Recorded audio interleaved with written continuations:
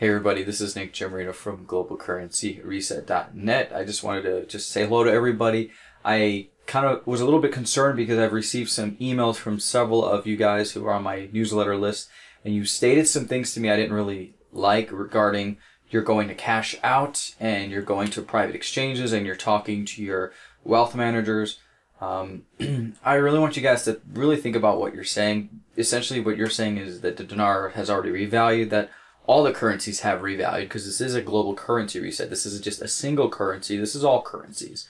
So you're saying that you're going to exchange your currencies, your dinar, your dong, and for some of you, I don't know where you came up with this, but you, you claim you're going to be exchanging Zimbabwe dollars, which is funny because as I've stated numerous times before, back in 2008, when the Zimbabwe dollar hyperinflated, they came out with another Zimbabwe dollar where they basically, I guess they, they removed eight zeros not like what, what they're saying in Iraq with three zeros, but they removed eight zeros sometime in I think 2009. And what happened with that? The Zimbabwe dollar was abandoned around April of 2009. So Zimbabwe no longer uses their own dollar. They use a little bit of the U.S. dollar. Uh, they're starting to move away from that, and they're moving more to like the South African rand, uh, the euro, and some other um, currencies.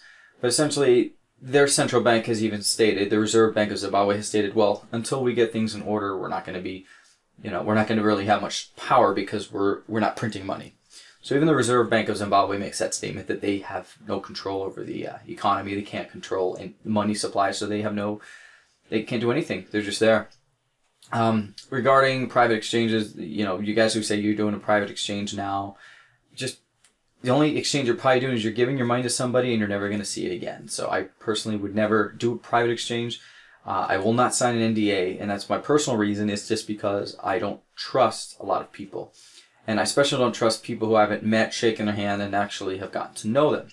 Now, if a person were to open up a briefcase, show me a bunch of hundred dollar bills, and say, "Hey, listen, if you give me your dinar or your dong right now, I'll give you this," then maybe I'd believe it. But th- then again, why would that guy have the incentive to give me all of that money in that briefcase when he could just go to the bank, buy some, and then keep the money for himself? What incentive would it be for him? Because you can buy Dong at a bank right now. In fact, I would never buy Dong online. I don't know why you guys still make that mistake.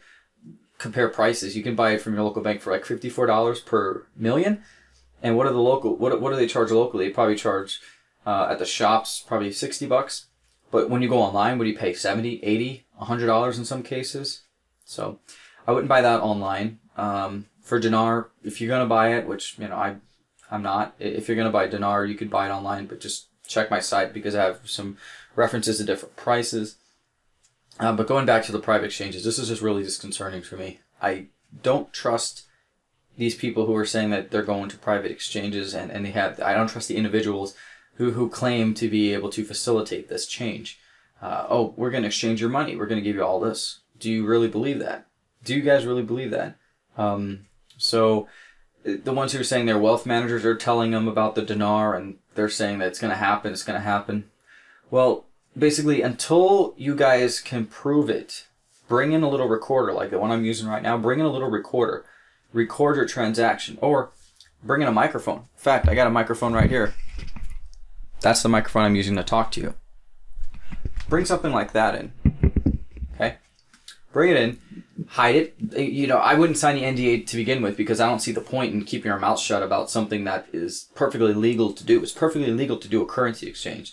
Um, why these people are offering a higher rate, I really don't understand. It doesn't make any logistical sense to me.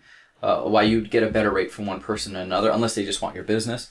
But uh, I just I do not trust these. And until somebody shows me proof that they've actually exchanged, they've showed me their receipt, I don't believe it's happened. Okay, because you still get exchange. Even when I go to Wells Fargo and do a currency exchange, I still get a receipt. So it's got nothing to do with that. But I just don't trust it. And you guys, I've I've gotten like five in the last two months since October, October, November already. I've gotten like five emails from people saying, my wealth manager says this is happening, or my financial advisor says I have to be ready to go, or I got contacted by this company. I sent them my dinar, my dong, and my zim. First of all, that's a mistake. Anyways, don't send your money into anybody that is just asking you. You're basically saying goodbye. I don't need my cash. Here you go. Take it. Take my currency. Why would you do that? You could just go to a bank and exchange it, right? Any bank will accept your currency.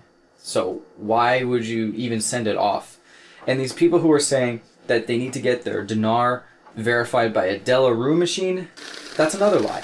Why would you have to get your. You know what a Delarue machine does? It basically will sort through the bills and make sure that you don't have any counterfeit bills. And it reads the little bar strip. Uh, you guys, my bank even has something similar to a Delarue machine. It's a counting machine. They use it for the $100 bills. They can check to see if they're real or if they're fake. Um, it's also a counting, de- uh, counting machine, counting device.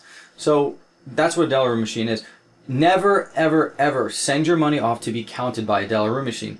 There's a book called The MRI Banker's Guide to Foreign Currency. I've mentioned this. Check my videos. You'll see my, my videos on YouTube. I have that book. And they're, they tell you what they have, what, what currencies are being used. And in some cases, they'll tell you about security features. Also, you can go online and just search for security features of Iraqi dinar. Bankers do not need to be ultra trained on how to exchange dinar. All they need to know is what is real and what's fake. Security features and uh, thumb, uh, not thumbprints, I was going to say security features and watermarks is what they need to know. If they know that, then they're legitimate bills. So you should never, ever, ever hear from anybody who says send your dinar off to be counted. Send, do not send your money away. When you guys want to exchange your currency, I don't care if the revaluation has happened or not, go to a bank or go to a currency dealer, something that's public. Don't go to some private meeting somewhere in the boonies where they're going to tell you, uh, hold a gun to you and say, give me all your cash. Because guess what? They, there are sick people out there that do that kind of stuff. There are, and they're, and they're, they're going to contact everybody. They go to these forums, they go to these dinar forums where they know you guys are at, and, and they basically say, hey, I have a way of exchanging a dinar, three dollars per dinar, and you guys rush in like, oh, I better go, I better go. Especially the ones in Florida do that. And guess what happens? You meet the guys and like, here, so here's the deal: give us your money, and we will give you uh, the exchange rate. We'll put you on the list, and when exchange rate happens, you'll be the first one to get paid. And you're like, oh, okay, here's my money, here's my money.